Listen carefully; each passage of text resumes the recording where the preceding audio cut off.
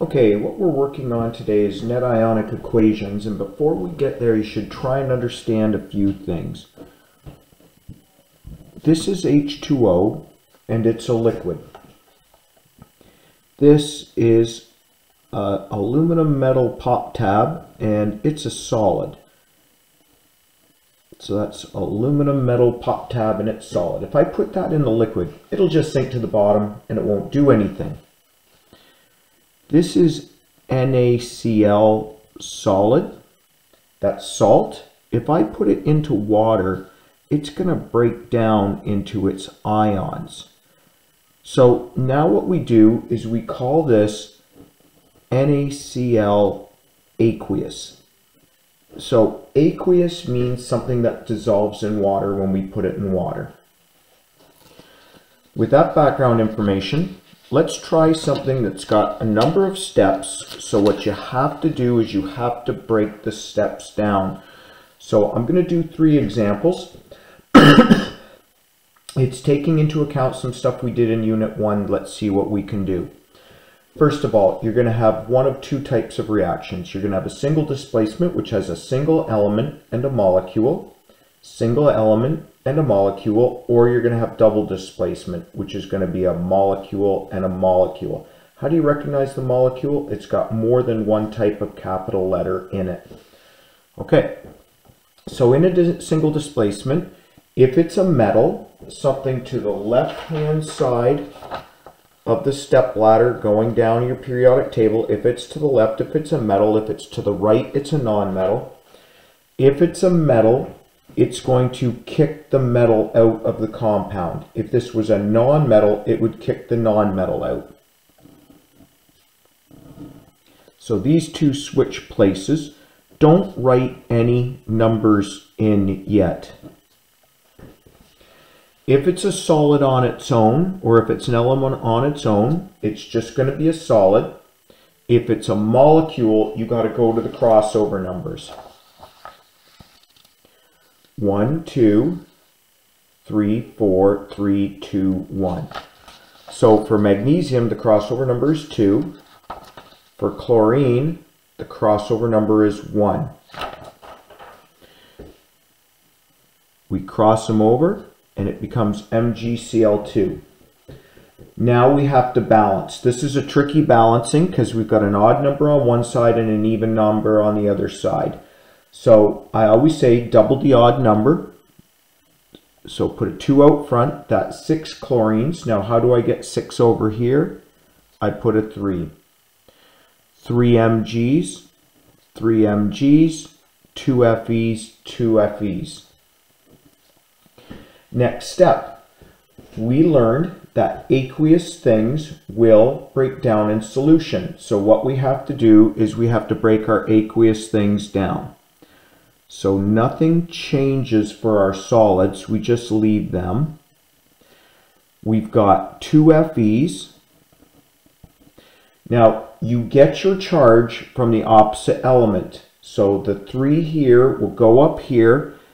If it's a metal, if it comes first in the name, in other words, it will get a positive charge.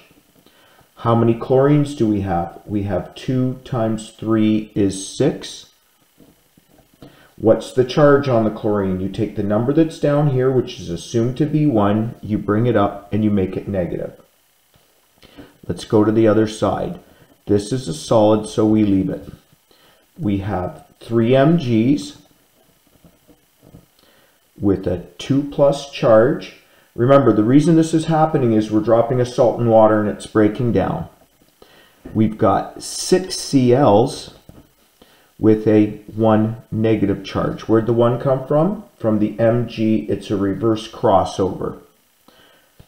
The Cl's cross out, and we're left with what's called a net ionic equation. The 3Mg plus the 2Fe gives the 2Fe and the 3Mg. Let's try our second one. the metal kicks the metal out. That'll be a solid because it's on its own. Then we write down the two things that go together. Then we look up their crossover numbers. If you don't know the crossover number of a polyatomic, just say what's the crossover number, just Google it. What's the crossover number for OH, which is hydroxide? Mg was 2, the 2 comes down. Let's balance it. 2OH, 2OH, 2K, 2K, Mg stays the same. Now, I want to look something up here. I want to look up the Mg and the OH. Here's something interesting. You got to have your solubility tables handy when this happens. When the Mg and the OH come together, they're insoluble. So if Mg and OH don't break down, we can't break this down. So we just say no reaction or no precipitate. We should say no precipitate. So we don't take this any further. So when you do this, you always have to look up the substance that you think might be aqueous. So let's look up MgCl2. There's Mg, there's Cl. It's soluble, so it will break down in solution, so we can proceed. But if the thing that you make over here, the molecule you will make over here, says insoluble, you can't go any further. If it did say soluble, you would change that AQ to an S and you would leave it, you'd be done. You wouldn't do these next steps. So the MgOH2 was insoluble. So we put an S beside it instead of an AQ because it doesn't dissolve in solution. So we just leave it. Let's try a double displacement reaction. Same thing, the two metals change places. Okay, don't put any numbers in. It's K and Br, and it's Li, and it's PO4, which is phosphate. Now, go to the periodic table to look up everything's crossover numbers. You'd see that K is a 1 and Br is a 1. Leave it. You'd see Li is a 1. If you look up PO4's crossover number, they'll say it's a 3. So the 3 comes down here. It's Li3PO4. Now balance.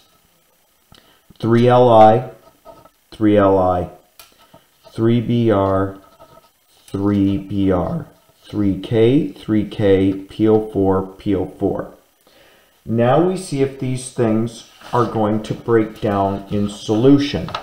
So let's look up Li and PO4. They are insoluble, so they'll remain a solid. Let's look up K and Br. They are soluble. So here's what we have to do. Everything on here is now soluble.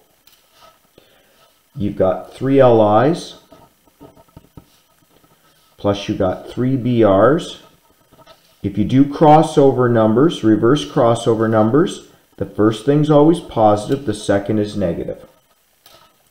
You've got three Ks, you've got one PO4, charges, three negative, one positive. On this side, we ignore this because it doesn't change. We've got three Ks. Uh, I made a mistake there. Nope, I didn't. That's right. Plus three BRs. And we do the reverse crossover, one plus and one negative. If we have something on the right and we have something on the left, we can cross it out.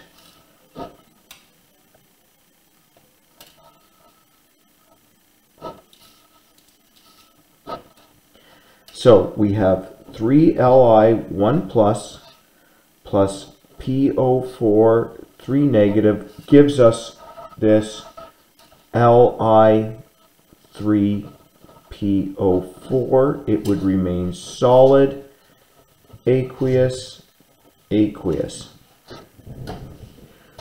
Folks, I'm not saying this is easy. It should take you a couple of times to get through this. Um, take your time, watch the video until you get it, ask questions. I'll take up the five that are there and then you will have an assignment on this.